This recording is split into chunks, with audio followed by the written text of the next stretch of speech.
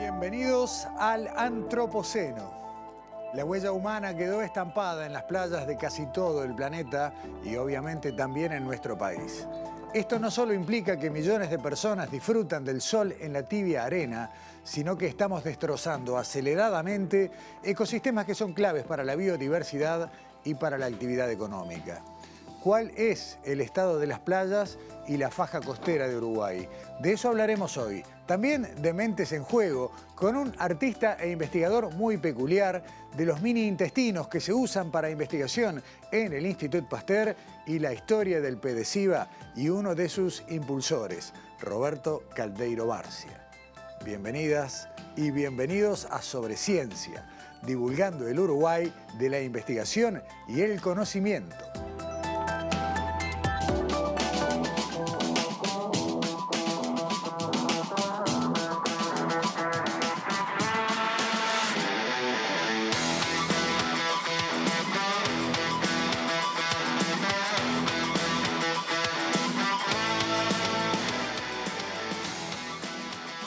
El cambio climático, pero fundamentalmente un cúmulo de intervenciones sin planificación, ponen en riesgo nuestra faja costera, afectando seriamente ecosistemas y también fuentes de trabajo. Muelles, espigones, colectoras, casas, saneamientos, plantas, kioscos, hoteles, escaleras. Un sinnúmero de intervenciones humanas con poco y nada de planificación distorsionó el circuito de la arena, disminuyendo cada vez más la capacidad de recuperación de nuestras playas. Sumamos a nuestra conducta el efecto del cambio global, del aumento del nivel de las aguas, de las tormentas intensas, de los fuertes vientos, ¿Cuáles son las acciones que están afectando las playas de Uruguay? ¿Qué podemos hacer y qué estamos haciendo para detener y, si es posible, revertir este proceso? Lo conversamos con el doctor Daniel Panario, profesor titular de Geomorfología en Facultad de Ciencias e investigador de Pedesiva Geociencias. Daniel, buenas noches, bienvenido a Sobre Ciencias. Buenas noches, un gusto estar contigo. El gusto es nuestro y te agradecemos estar aquí. Y vamos a sumar eh, a través de Zoom a esta conversación a la doctora Ofelia Gutiérrez, quien es profesora del Instituto de Ecología y Ciencias Ambientales de Facultad de Ciencias y también investigadora de Pedesiva Geociencias. Eh, buenas noches y bienvenida, Ofelia. Muchas gracias, buenas noches a todos también. Bien. Ofelia, vamos a comenzar contigo esta conversación a, tres voces para hablar un poco de qué es el comportamiento de la arena. Uno ingenuamente tiene la idea de que la arena está ahí y la ola la lleva, la trae y la playa siempre va a estar. Y no tiene nada que ver esto, ¿no? Ese problema es porque a las playas vamos en general en verano y conocemos poco un ecosistema tan importante para Uruguay. En realidad, eh, sabemos que muchos son los mayores de 75 años que ahora se han vacunado. Bueno, todos esos mayores de 75 años probablemente no las conocieron, pero algunas fotos que yo les pedía que nos mostraran, ellos son contemporáneos de esas imágenes. Son fotos de la década del 40 del siglo pasado, en las cuales estábamos mostrando la numerosa eh, capacidad que tenía nuestro sistema de transportar arena había unos grandes campos lunares que eran necesarios para el denominado ciclo de la arena. Eh, Ofelia, vamos a ir alternando fotos actuales con anteriores y para que la gente se oriente, ¿no? Las que pueden ir viendo en blanco y negro y sobre todo fotos aéreas. Eh, cuando vean las fotos... Uno no reconoce los paisajes a veces. Cuando vean las fotos en blanco y negro que les había seleccionado, van a ver que son unos grandes campos lunares que cubrían la zona cercana a la costa. Y bueno, esos campos lunares los fuimos domesticando, vamos a llamarlo, a lo largo del siglo pasado. Diferentes intervenciones en el marco del cambio global, que pues, el factor más importante de transformación es el cambio de uso del suelo. Fuimos cambiando de una zona costera con grandes campos lunares a forestación previo a la transformación en ciudades. Toda nuestra costa es casi una gran ciudad. Entonces esa transformación fue restando un gran componente, de, una parte del stock de sedimentos que estaban en circulación. Eh, de esa manera nos quedamos trabajando con, el mar se quedó trabajando con muy poca cantidad de sedimentos para reconstruir las estructuras. Al mismo tiempo hay fluctuaciones, es normal que el mar fluctúe no solo por subidas o bajadas del nivel del mar de tiempos con tiempos geológicos, también hay fluctuaciones estacionales, pero como vamos construyendo y cada vez lo vamos construyendo a un espacio más pequeñito, y bueno, es, muy difícil poder adaptarse y poder mantener y que el mar pueda reconstruir las estructuras que requiere para estar sano. Ofelia, me quedo con una idea, quiero resaltar algo que decías recién. Eh, mencionaste en primer término eh, empujes de forestación eh, y yo recuerdo haber escuchado antes, ahora creo que ya nadie lo repite, que era bueno plantar árboles en las dunas para que la arena se quedara ahí, para fijar la duna y ahí la arruinamos toda, por decirlo rápidamente. Exactamente pero es quizás en ese momento cuando se hizo en la década del 40, del 50, hasta el 70, era normal para la concepción de la época. Ahora ya no lo es más. Y ahora debiéramos saber que hay que dejarle un espacio de libertad al sistema para que pueda reconstruir sus estructuras, para que pueda retroceder, para que pueda avanzar cuando es necesario. Y si no, nos pasa lo que tú comentabas, las estructuras que construimos van a ser atacadas. Ahí, tenemos una gráfica que muestra lo que tú mencionabas recién, ¿no? Eh, en un esquema, ¿cómo es el ciclo de la arena?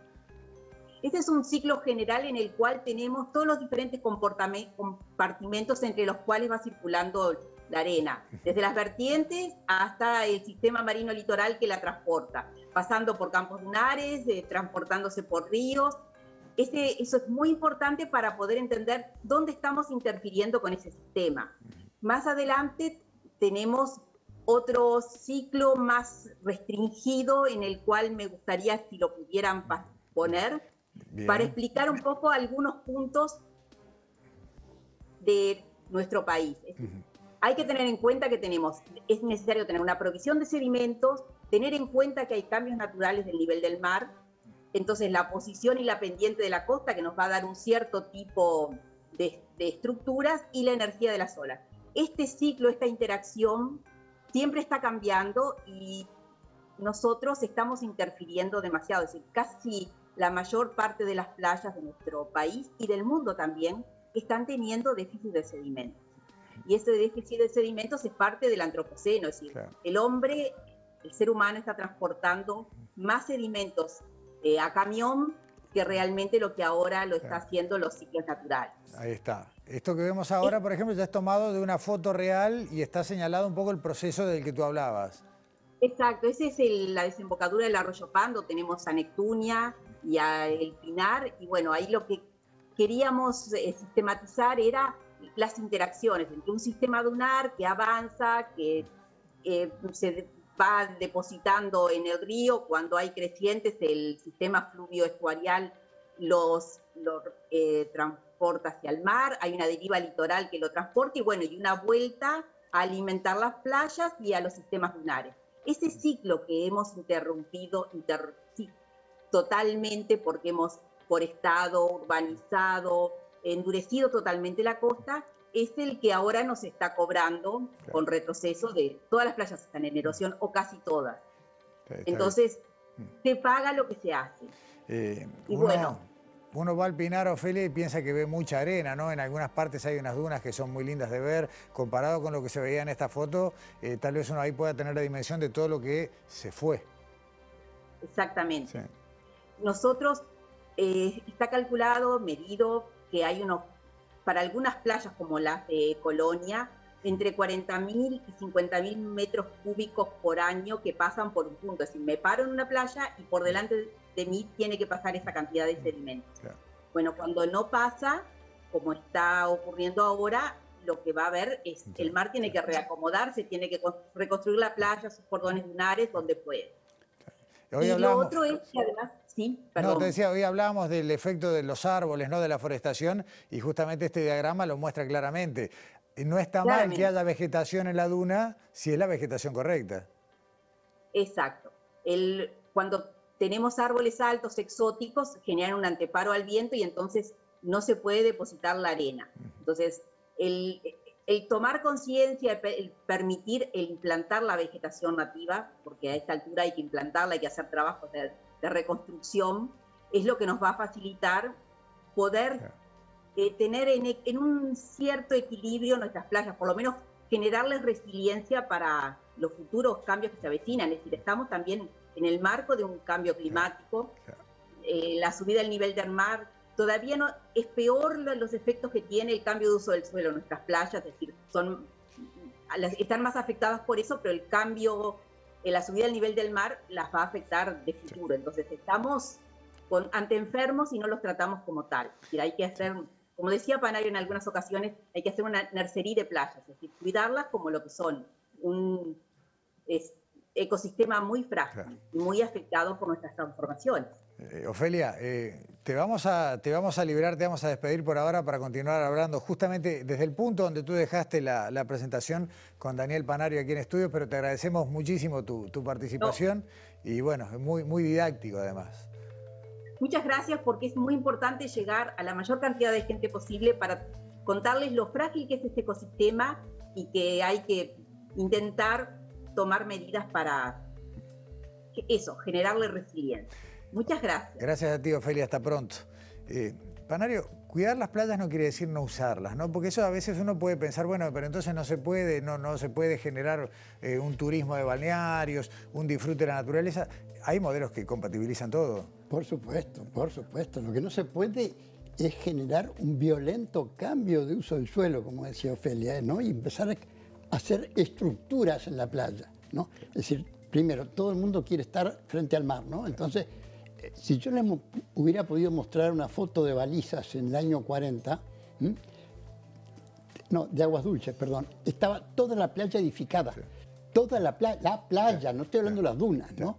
Ahora ya se cayeron todas las casas y se están cayendo las casas que estaban arriba de la duna y así sucesivamente.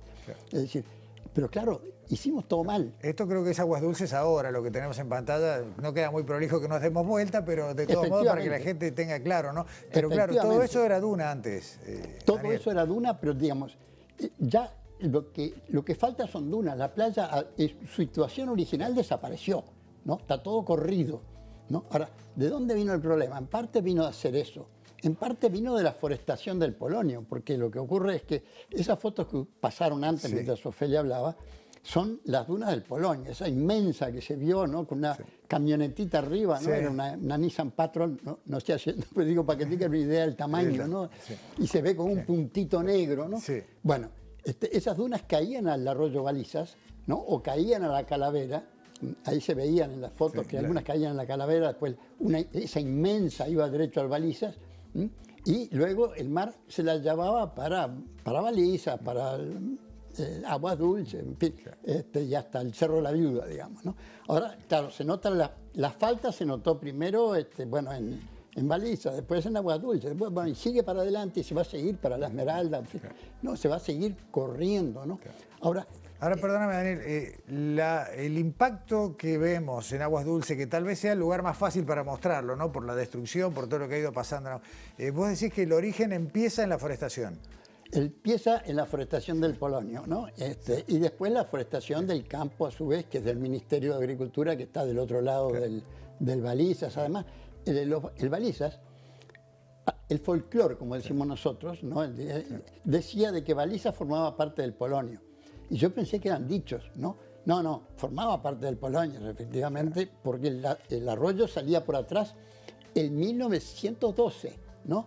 1908 ya salía por atrás.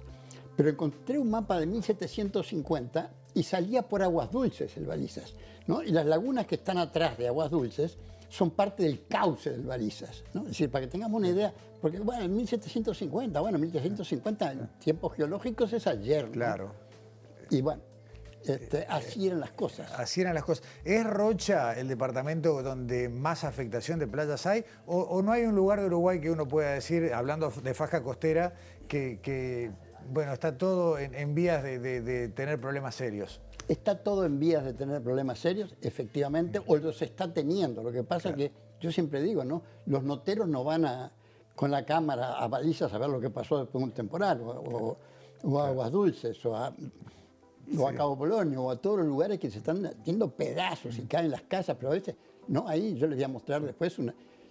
En una tormenta cayeron 50 casas, ¿no? Después que bueno, están en terrenos públicos, entonces por suerte este, hagan lo que quieran y vamos a esperar que se caigan todos. Ahorraron el trabajo del administrativo que tenía que ordenar la demolición.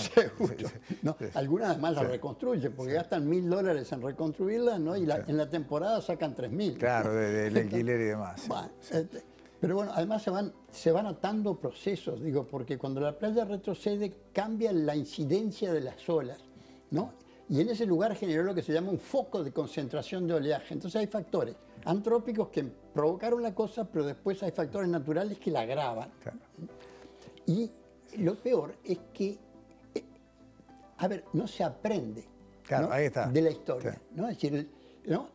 ocurrió lo que ocurrió con Boca de Cufré, una de las fotos que te demostraron, que, era de Boca de Cufré, no hicieron, querían hacer una marina.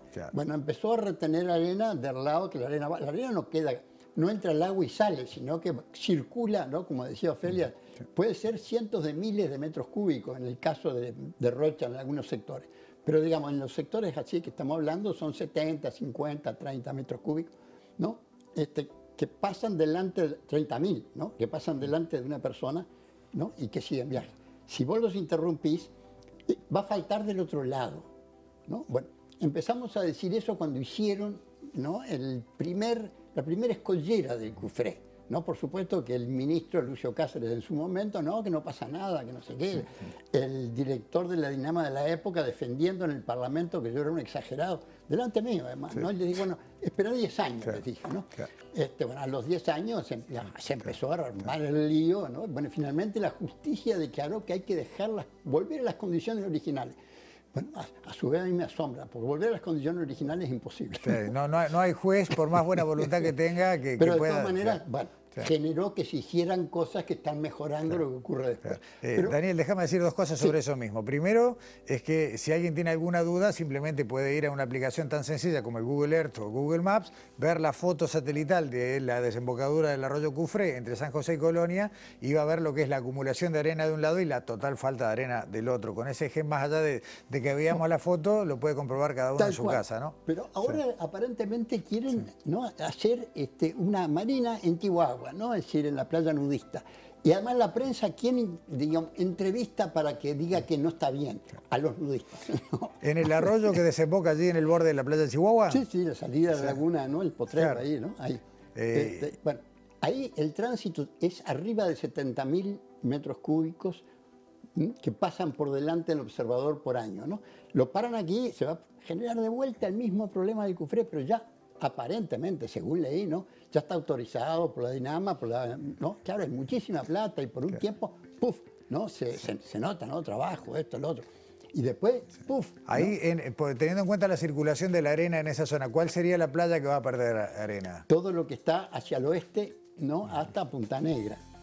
Y después, si, si va a afectar después de Punta Negra o no, no lo sé, ¿no? Pero hasta Punta Negra, seguro. Todo. Toda la secuencia.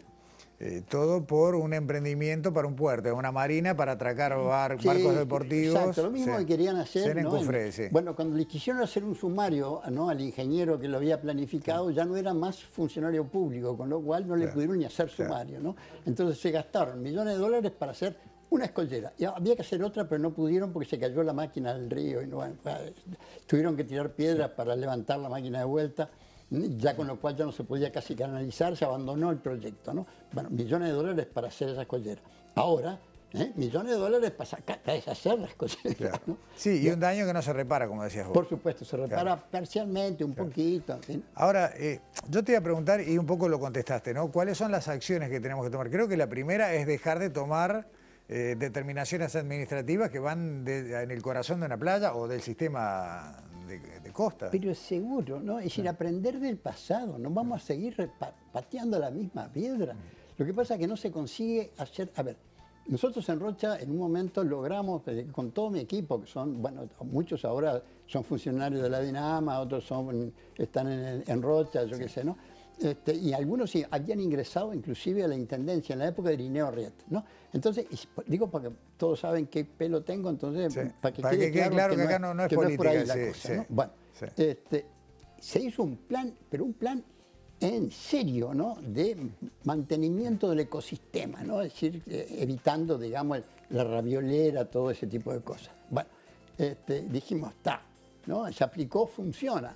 Albricias, cambió la intendencia. ¿No? Lo primero que hizo fue echar a los funcionarios especializados en el tema, que yo los había recomendado más para que se quedaran, porque hay una gente muy formada, ¿no? ahora son profesores de grado 3 de, la, universidad, ¿no? lo sacaron. Es decir, yo he trabajado mucho con intendencia del interior, ¿no? no trabajo más porque cambian las autoridades. La gestión y cambia todo. Y echan a todo el mundo y cambian, no, ponen a los amigos, esto, lo otro, ¿no? y, y, vuelve a cambiar y vuelven a cambiar todo. Es decir, he trabajado con Montevideo, ahí sí con gusto, ¿no? Van a ver ustedes fotos porque, bueno, se hizo una política y ya tiene 10 años, se hizo una investigación. Además, no se pueden tomar medidas así, vamos a hacer esto, café para todo, ¿no? No, eso no se puede, hay que estudiar cada pedacito de playa, ¿no? Y su interacción con el resto. Exactamente, ¿no? Y su interacción con todo el resto. Entonces, recién ahí podemos decir, acá se puede hacer esto en tal época, a tal altura, sobre, ¿no? cuando la playa llega a tal altura, todas esas cosas. Eh, Daniel, habíamos hablado del de, eh, caso de Chihuahua, de, esa, de ese proyecto de Marina que sería catastrófico para la suerte de todas las playas que van desde la desembocadura de Arroyo Potrero, al menos hasta Punta Negra, muy cerca de Piriápolis, eh, pero había otro caso que te preocupaba.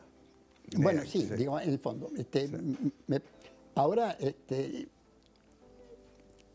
en realidad, este, te diría, me preocupan todas las playas, pero este, hay lugares que son simbólicos, inclusive, ¿no? como el caso del Polonio, ¿no? Este, que, bueno, digamos, está bien, cortaron los árboles este, que estaban impidiendo el desarrollo de la arena, ¿no? pero este, eh, ya medio tarde, ¿no? Ya medio tarde. Después, bueno, lo que acaba de ocurrir, a veces le erran por un infinitesimal, las cosas que están haciendo las están haciendo bien, pero digamos, bueno, no va el técnico adecuado o no sé qué, ¿no? Entonces, o, alguien opina otra cosa, por ejemplo, en Costa Azul, ¿no? de, Rocha, ¿no? Este, pidieron, pidieron el apoyo del, del, INFIA, ¿no? lo digo con todas las palabras. Bueno, recomendó un enrocado, un enrocado con gaviones, este, en fin, este, no es roca pura, es piedra partida, pero digo, en los hechos es endurecer la costa. ¿No? ¿Y por qué? Porque a unos señores se les puede caer la casa y entonces, bueno, el intendente quiere, bueno, los intendentes lo que quieren hacer es poner contenta a la gente, ¿no? Entonces, bueno, sale como dos millones de dólares ese enrocado, si lo hacen. Pero lo que es seguro es que la playa por delante desaparece, ¿no? Porque la energía se empieza a reflejar, ¿no? En la pared vertical. Y, se, cuando se refleja se lleva a la playa, ¿no? Como está pasando en, eh, en Piriápolis, por ejemplo, ¿no? Eh, Daniel, eh, quiero detenerme un minuto en Montevideo. Y hace un rato fuera de cámara hablamos del caso de Ramírez, me diste un dato eh, que me pareció increíble, que había, donde hoy hay agua en la playa Ramírez, hace un siglo atrás había un, loteo, había autorizado incluso construir casas. Bueno, no sé para qué era, pero eran padrones que hasta hace, hasta hace tres o cuatro años estaban todavía este, en, el sistema de información de la Intendencia, ¿no? cuatro padrones que ahora están en el agua. ¿No? En esa parte cuando baja el mar queda una cosa que parece sucia, pero que no es sucia, es arena Claro, es arena, claro. Es claro. Bueno, ahí que estaba. Ahora, yo no sé si era para construir o era para sacar arena, ¿no? Porque, digamos, en Positos, este, en, Ramírez, se empezó, para la ciudad se empezó sacando en Ramírez o en, bueno, en las que están en la bahía, ¿no?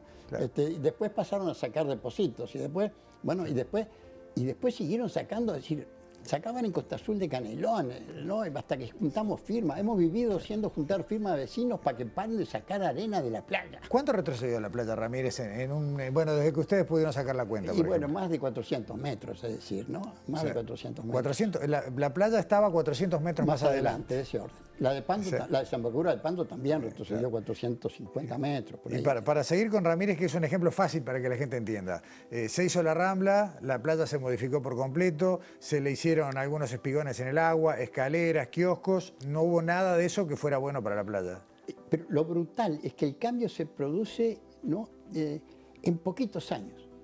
¿no? A partir de que hicieron la rambla, bueno, seguramente yo tengo fotos que muestran cómo meten para rellenar lo que está por atrás de la Rambla, que era otra playa también. Bueno, Ramírez estaba unida a otra playa que tenía otro nombre, a su vez, no importa. Pero eso quedó del lado del continente. Entonces, para rellenar eso, el barco iba, sacaba arena ahí de las inmediaciones y la tiraba ¿no? para rellenar. Bueno, el mar lo primero que va a hacer es tapar los agujeros que hicieron para sacar la arena. ¿no? Y fueron miles y miles y miles, millones de metros cúbicos que sacaron. Bueno, listo, este, ahora no hay arena, ¿no? Con todo, Ramírez es un milagro. ¿no? Es un milagro por lo poco que se ha ido retrocediendo, porque tiene esa, eso que quedó remanente por debajo, ¿no? Que, que va reponiendo arena, porque la arena se iba toda por las escaleras además, ¿no? Y todo lo, después de cada viento ¿no? pasaba la intendencia, levantaba la arena y la tiraba en la basura, porque no se puede volver a la playa una arena que ya quedó contaminada por los autos, más en aquella época que se usaba tetratilo de plomo, no en la nafta. Bien, entonces, este, a pesar de todo, está retrocediendo exactamente lo que corresponde ¿no? Este, para la subida del nivel del mar que han sido del orden de 16 centímetros en Montevideo. Le contamos a la gente que lo que estamos viendo en pantalla es un plano de Ramírez de eh, un cartógrafo británico de mitad del siglo XIX. Exacto. Eh, y no se parece en nada. Y además está perfecto, ¿eh? la carta, no, es que haya buena en aquella época, nada. Cuando uno la pone arriba del catastro de Montevideo, ¿no? calza exactamente ¿no? arriba de las manzanas de Montevideo y de las construcciones viejas que había y, ¿no? y, de la, y, del cerro, este, ¿no? todo, todo calza perfecto, o sea, está hecho con el nonio, como decimos nosotros. Daniel, eh, vamos a dejarla por acá, simplemente porque podríamos seguir hablando muchísimo tiempo, de cada playa, como tú dices, tiene su problema y creo que las has estudiado, si no a todas, a la gran mayoría. Así que... Eh, a ver, hemos estudiado muchas. Este, y estamos a lo mejor prejuiciados, porque uno va a estudiar cuando hay un problema, ¿no? Claro, claro. Entonces, bueno, lo estamos viendo que están todas sometidas a erosión, pero por algo las fuimos a ver, ¿no? Claro. Eh, tomar conciencia, primera medida, no intervenir más, y segunda, estudiar caso a caso para ver qué se puede hacer. Y hacer una política que vamos a hacer, hay que dejar el espacio de libertad para que el mar retroceda, avance, se mueva, ¿no? En las dunas, la duna primaria, ¿no? que es la que nos defiende, espacio de libertad. Y si hay que parar el auto lejos y caminar cuatro cuadras para llegar al agua, bueno, será porque la playa está sana. Y es, y es bueno para la salud, caminar las cuatro cuadras. En arena. Eh, Daniel Panario, muchísimas gracias. Gracias a ti, estas cosas hay que divulgarlas. Exactamente. Hacemos la primera pausa en Sobre Ciencia y ya volvemos.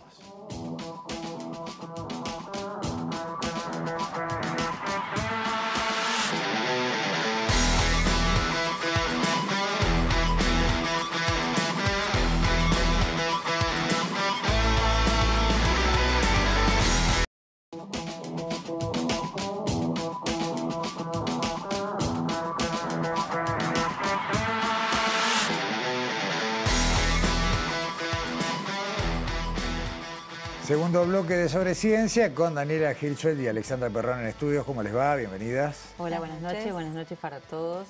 Hoy tenemos, hoy recuperamos, hacía un tiempo que no teníamos mentes en juego, Daniela, y hoy tenemos una cosa espectacular. Hoy tenemos un, invitado de lujo en Mentes en Juego. Mm. Es un científico que creo que es como el científico para Mentes en Juego, porque él mismo en realidad trata de no definirse, que eso es lo principal. Él, es científico, pero además es músico, es letrista, es arreglador, es murguista. Claro, y si vos decís su nombre, me da la impresión que nadie o muy poca gente piensa en una persona de ciencia, pero sí, sobre todo con el tema del carnaval y bueno, y la, cultura en general. Tal cual, tal cual. Estamos, hoy vamos a presentar la, el perfil de Guillermo Lamolle, que en realidad es quizás más conocido por su rol en carnaval que por la ciencia que practica. Pero creo que como personaje es bien interesante que él mismo se presente y él cuente de qué trata su, su vida en esta, este doble juego entre el arte y la ciencia. Excelente. Vemos la primera parte del informe.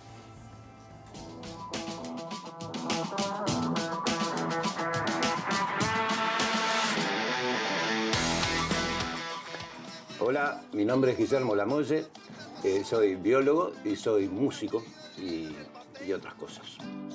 Con Harry Ron hacemos jarrón, con porro y ron hacemos porro. Hay dos cosas que me encantaban de chico, además por, por la fecha que yo nací en el 62. Una eran las ballenas. Yo era enamorado de las ballenas, vivía, tenía un pizarrón, yo vivía en esta casa. Y tenía un pizarrón y me pasaba dibujando ballenas en el pizarrón y, este, la, maestra de primero me decía ballenato, por ejemplo, por eso. Y otra cosa que, me, ocurrió fue la llegada del hombre a la luna, que fue también cuando, cuando yo estaba en primero de escuela, ¿no? en el 69. Lo de las ballenas, yo de hecho estudié oceanografía en el grado, este, oceanografía biológica, me, siguió por el lado de Jean Cousteau y todo eso, como todos los que estudiamos oceanografía, era por eso. Y, y, después me fui, me fui, pero digo, la parte infantil de la ciencia fue por ahí. La parte artística, Más bien por el lado de los Beatles, que yo soy un enfermo de los Beatles, y por el lado de que en mi familia se, cantaba, no, no estrictamente en mi casa, sino con mis primos y todo, hacíamos este como, como canciones para el que cumplía años cada vez y las ensayábamos, canciones en joda, ¿no? Como se hace en una murga, cambiando la letra a una canción. Y, eso fue durante años, ¿no? Y yo a los 15 años tuve una guitarra por primera vez y, empecé a estudiar ahí, más o menos, ¿no? no estudié mucho, pero como que ahí me empezó a gustar y ya decidí, yo había decidido ser un Beatle a los 11 años con él. Y no lo, no lo fui, pero no pierdo la esperanza de Con a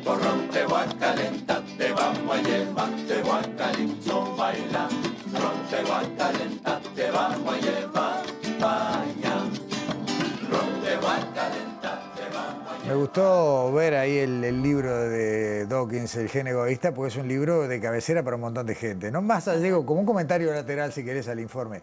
Todo un personaje. Todo un personaje, como él dice. ¿Cuántos científicos se inspiraron en Jacques Cousteau también, no? Totalmente, totalmente. Y en los, bueno, es un Beatle, es Jacques Cousteau, es un Beatle, es murguista. Es, un montón de cosas al mismo tiempo, es científico.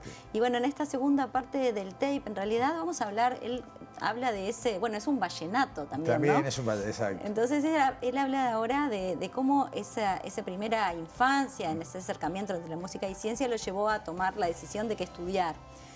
Y también es, obviamente, es bien peculiar su camino, pero nos cuenta, nos habla de la ciencia, ¿no? Porque hasta ahora hemos hablado de música y nos habla de la ciencia, que, la, la, ciencia que lo define es la bioinformática, que quizás no es un nombre muy común o que suene tanto, pero en realidad eh, durante la pandemia ha sido una de las disciplinas con más destaque quizás. Te iba a decir, viene en crecimiento, me parece que cada vez hay más bioinformáticos o por lo menos necesidad de ellos. Bien, contemos un poquito qué es la bioinformática. Es el uso de herramientas computacionales para el análisis y el estudio de información biológica.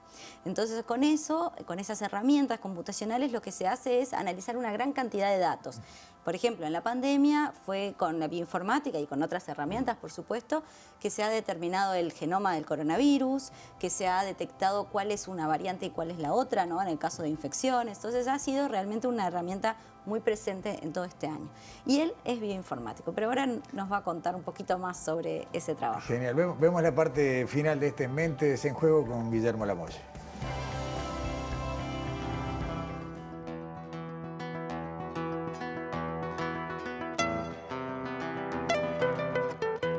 Este, estaba en el liceo y quería estudiar, eh, me, gustaba la sonografía biológica, había averiguado en, Brasil, porque acá no había. Y justo se, puso esa licenciatura acá y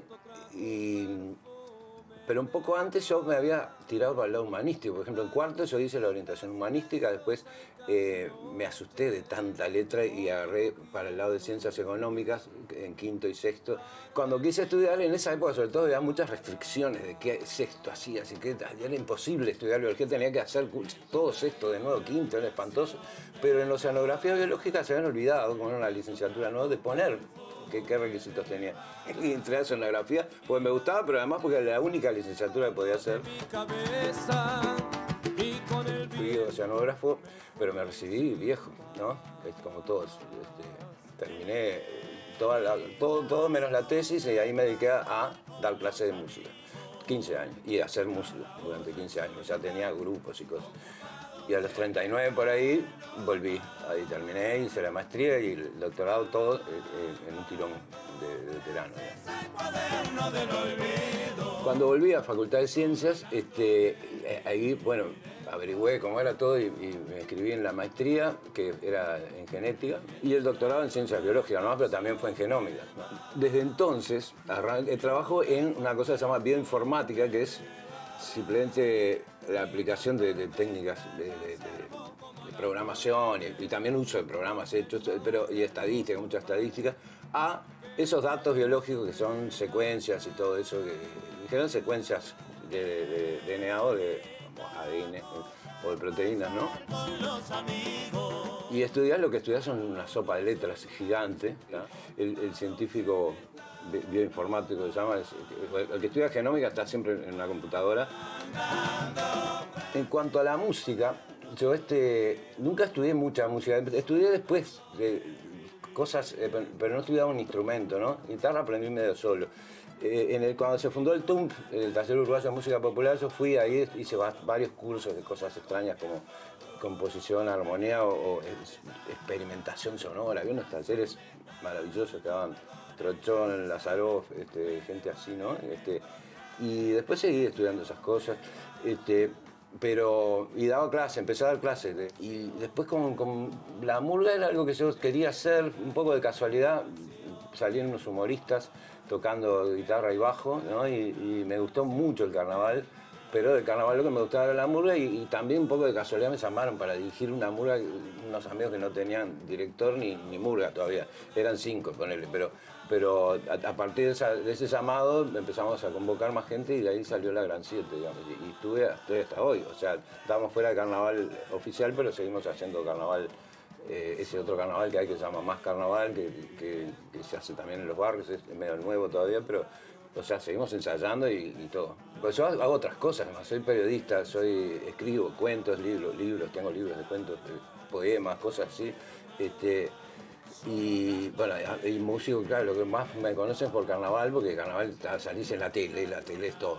Este, pero pero no, no sé, yo tengo una canción que dice, si me preguntan lo que soy, yo soy murguista me encanta este, tener un título de doctor y decir, pero yo soy murguista, eso es un hobby, lo de doctor. Y es verdad, soy más murguista que doctor, o soy doctor de murga, si pero...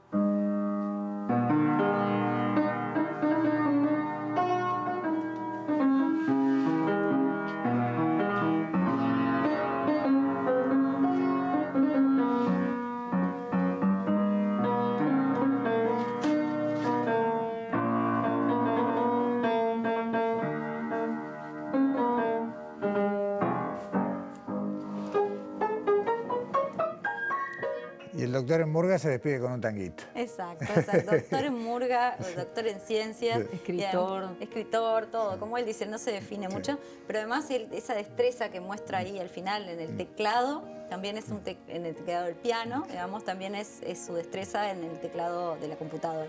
O sea que siempre tienen puntos en común la ciencia y el arte en el caso de la Molle. Creo que mucha gente va a descubrir la otra la cara que no conoce de la Molle, ¿no? Después de esta nota. Alexandra, eh, ¿Qué es un mini intestino? A ver, ¿qué, fuiste a ver? Es, raro, ¿no? Suena, suena, extraño. Suena, suena raro y suena interesante también. Nos fuimos hasta el Instituto Pasteur de Montevideo porque allí se crean mini intestinos. Los mini intestinos son organoides que se crean en, el laboratorio a partir de células madres, son estructuras tridimensionales. Y bueno, justamente eh, fuimos a hablar con Mariela Volati, que ella es, es la encargada de la unidad de Biología Celular del Instituto Pasteur.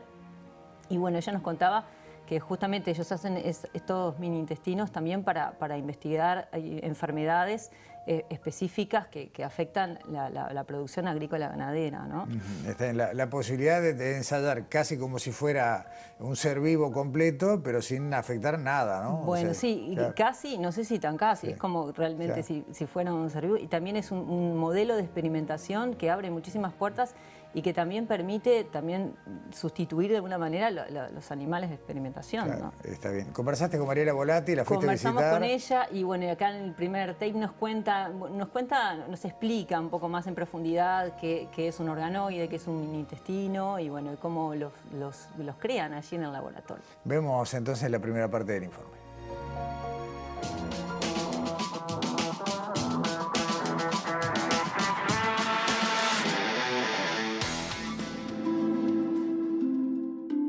El proyecto de los mini intestinos este, comenzó ahora unos 3-4 años atrás eh, con el interés de trabajar en eh, modelos celulares más complejos.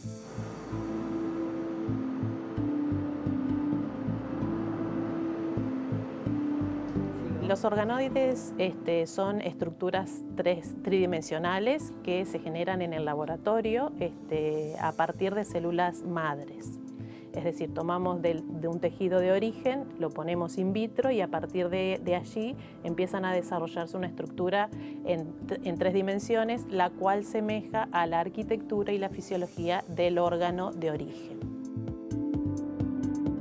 Las células madres son aquellas que este, pueden dar origen a diversos tipos celulares. También hay diferentes tipos de células madres, por ejemplo las embrionarias, las cuales se generan, ni bien se une el óvulo con el espermatozoide, por ejemplo, y ahí generan este, células embrionarias. Ellas pueden diferenciarse en diferentes tipos celulares. También existen células madres adultas, las cuales las encontramos ya en individuos o, animales eh, adultos para la generación de, organoides o de mini intestinos se pueden usar cualquier tipo de estas células madres, embrionarias, eh, células madres pluripotentes inducibles o las adultas. En nuestro caso en particular utilizamos células madres adultas.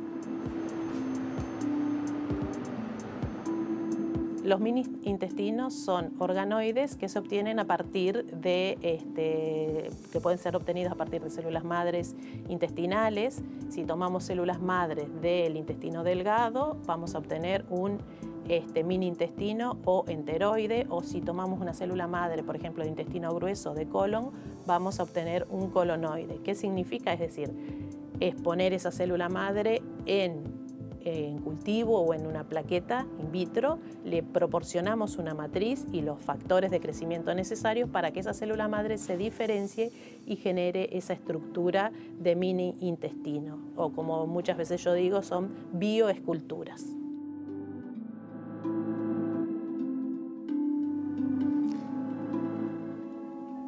Ese concepto de bioesculturas, que tal vez no sea el más científico de todos, pero que ilustra mucho de qué se trata. Eh, es, como abrir la puerta a un mundo que uno no, tiene en mente directamente. Sí, y a todas las posibilidades que, tiene este modelo de experimentación también, ¿no?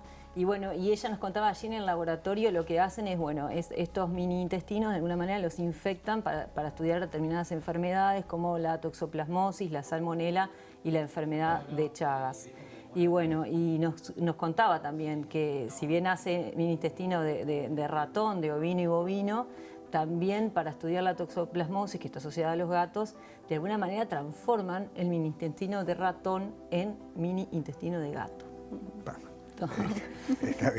Nos, explica las líneas de investigación en estas enfermedades. Sí, porque eso es lo que tiene bueno esta parte, ¿no? Cómo, este trabajo bien científico, bien básico, tiene un acercamiento con la clínica, con la posibilidad de desarrollar tratamientos muy, muy cercanos, muy estrechos. Está bueno. Vemos la segunda parte del informe de la conversación con Mariela Volante.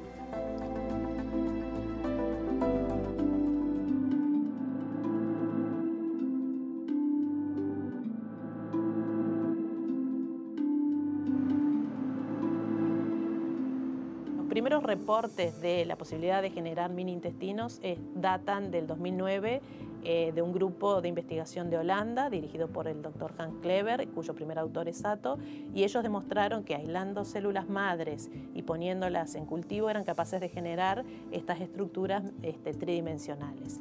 En Uruguay este, no existía esta posibilidad, entonces desde que nosotros empezamos a trabajar, la idea es esa, empezar a implementar el cultivo de mini intestinos, después hacerlo extensivo a diferentes especies, incluso al ser humano, y bueno, este, teniendo todo ese know-how, ese conocimiento, empezar a ampliar a otro tipo de órganos, porque no solamente podemos este, generar mini intestinos, sino que hay otro tipo de organoides que se pueden generar in vitro uno de los, de los puntos de estudios es el toxoplasma gondii y esto lo hacemos en colaboración con la doctora María Eugenia Francia. Eh, este parásito, como bien saben, es causante de, abortos en, el ser humano, pero también está distribuido en, varias especies. Y dentro de los estadios este, que tiene el parásito, el estadio de, eh, o la etapa sexual del parásito ocurre solamente en el intestino del gato. Entonces, en nuestro caso lo que hacemos es emplear eh, mini intestinos murinos y los felinizamos, es decir, lo hacemos que se transformen como si fuera un intestino de gato y ahí infectamos con Toxoplasma gondii y queremos ver las distintas, la etapa sexual de este parásito. Otro proyecto que también tenemos es en colaboración con Lucía Shin y Laura Bentancor del Instituto de Higiene para estudiar también este, salmonela, que sabemos que es el principal causal de las eh, intoxicaciones, pero también que afecta eh, al ganado y es el causal de, varias muertes. Entonces, la idea es utilizar estos mini intestinos murinos, ovinos o bovinos para estudiar este, el modelo de infección con salmonela. Otra de las aplicaciones que le damos a los mini intestinos es en el modelo de infección con Trypanosoma cruzi, eh, el agente causal del mal de Chagas. Sabemos que en el Chagas crónico se desarrolla una cardiopatía y en algunos casos también un megacolon chagásico. En ese escenario este, nosotros utilizamos los mini intestinos, en este caso colonoides, es decir, este, piezas obtenidas a partir de colon que se generaron en el laboratorio y los infectamos con Trypanosoma cruzi. Eh, este proyecto lo llevamos a cabo en colaboración con el laboratorio del doctor Marcelo Comini del Instituto Pasteur la idea sí es, abrir las ventanas y el panorama para un, abanico de, aplicaciones muy versátil, porque uno puede generar hasta incluso banco de organoides de eh, personas sanas y pacientes, entonces utilizar ese material para hacer estudios específicos de determinadas patologías o medicina personalizada o este, desarrollo de nuevos fármacos, eh, etc. Entonces, eh, creo que es como el puntapié de una ventana que se abre y bien prometedora. Una vez más, son esas cosas que uno, si te pones a pensar, si le das un poquito de rienda suelta a la imaginación, te das cuenta que no tiene límite, ¿no? No, exactamente. El FAR para fármacos, para medicina personalizada. Y bueno, el próximo paso de, estas investigadoras, de este laboratorio, es extender los estudios de los mini intestinos generando, generados a partir de biopsias humanas. Ah. Así que se va a poder exactamente aplicar específicamente a, problemas del ser humano. Muchas veces me vino a la memoria la conversación que teníamos la semana pasada con Gianfranco Grompone, quien, digamos, hablaba exactamente de la misma parte del cuerpo humano, pero desde otro punto de vista. Eh, si habrá para, para experimentar, si habrá líneas de investigación para seguir abriendo, como decía la entrevistada, ¿no? Una ventana, un abanico de opciones. Y interesantísimo para mí destacar de todo esto es que no estamos hablando de una tecnología que en el mundo ya está hiper desarrollada o que hace 20 años que la estén investigando. Esto es casi eh, en tiempo real, de vanguardia. Y que ya se puede estudiar en Uruguay, que se pueden hacer aportes desde Uruguay a la ciencia, eso habla de en realidad del lugar que tiene y del desarrollo que tiene la ciencia en Uruguay hoy. Eh, Daniela, Alexandra, muchas gracias. Nos vemos la semana que viene. Hasta la semana que viene. Eh, les, queremos contar, queremos compartir una invitación porque quedan muy pocos días. pasado mañana cierra el plazo para la inscripción de los clubes de ciencias en todo el país. Es un tema, quienes conocen sobre ciencia de antes, de nuestra etapa de radio, saben que tenemos como una debilidad con los clubes de ciencia porque es algo maravilloso. Bueno, eh, queremos cumplir con esto, ponerles el aviso de que los clubes de ciencia para las ferias departamentales que después generan el ámbito de la Feria Nacional están cerrando inscripción. En pantalla tienen los datos. Eh, ¿Usted no sabe lo que es un club de ciencia? A ver, es un escenario de educación no formal integrado por un grupo de personas que no tienen por qué tener una edad, pueden ser niños, jóvenes, incluso también adultos, y que se desarrolla allí en ese ámbito eh, una actividad o varias que contribuyen a la alfabetización científica y tecnológica del grupo, pero siempre mirando hacia la comunidad. ¿Cómo se forma un club de ciencia? Queriendo hacerlo. Es así de fácil. Eh, apenas reuniendo un grupo de gente que comparte el interés y la inquietud y después lo demás, bueno, es cuestión de hacer dos o tres trámites muy sencillos. La información, eh, si no tomaron nota en pantalla, la pueden encontrar en la página de Facebook de Cultura Científica de Uruguay. Hay tiempo para anotar en todo el país los clubes de ciencia hasta pasado mañana. Hacemos otra pausa, ya volvemos con la última parte de Sobre Ciencia.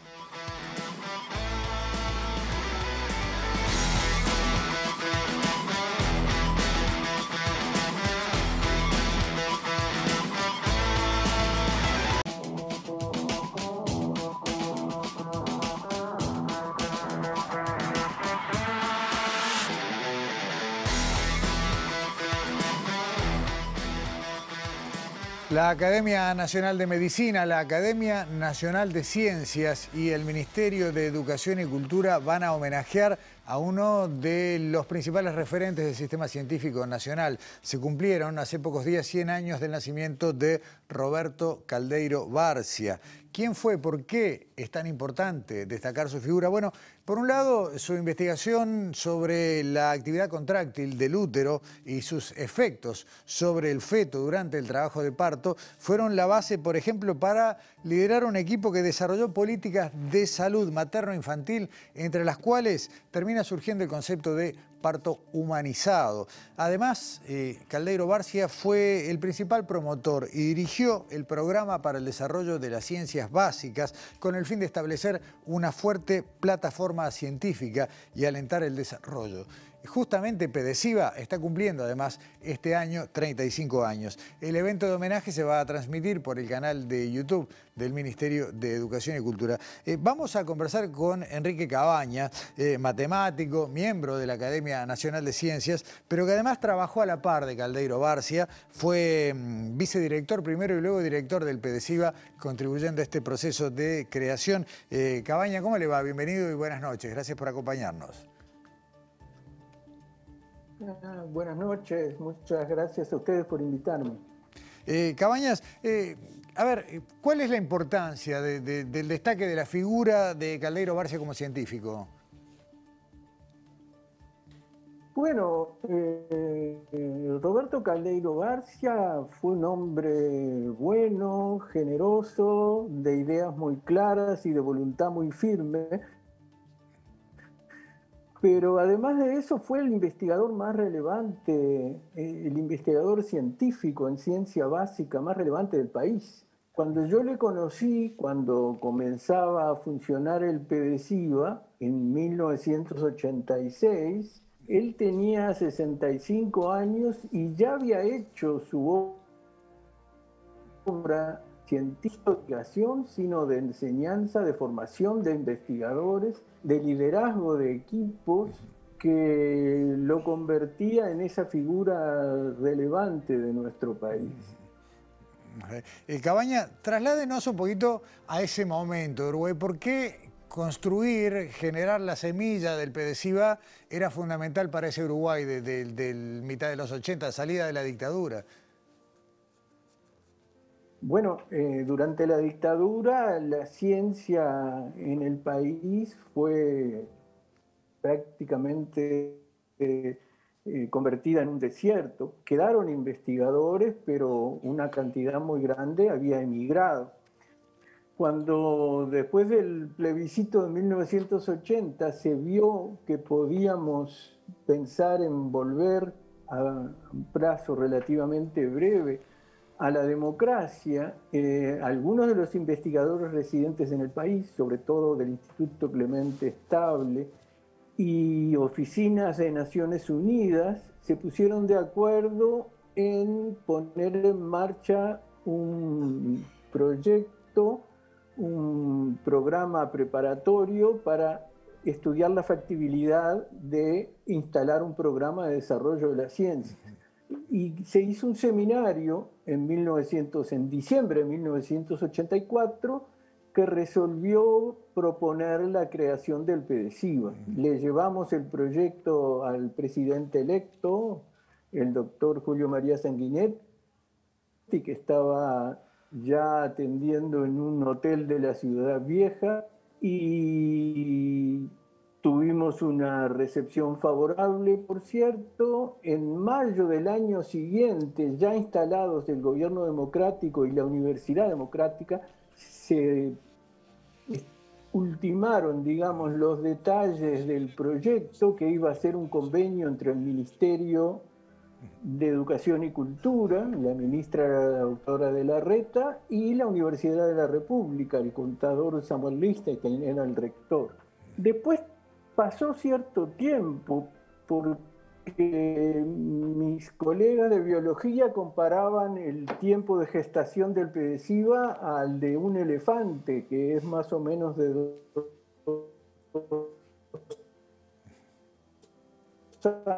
años, porque recién de la visión directiva del programa en octubre del 86 y en diciembre, recién el 3 de diciembre, se financió y ahí empezó a funcionar. Hasta acá Pedesiva ha generado eh, varios miles de investigadores, ha permitido la concreción de posgrados para mucha gente, muchos siguen en el país, otros desafortunadamente emigraron, aunque siguen en contacto, van y vienen, pero si usted hubiera pensado hace 35 años en este presente, ¿se sentiría satisfecho o le parece que quedaron cosas en el camino?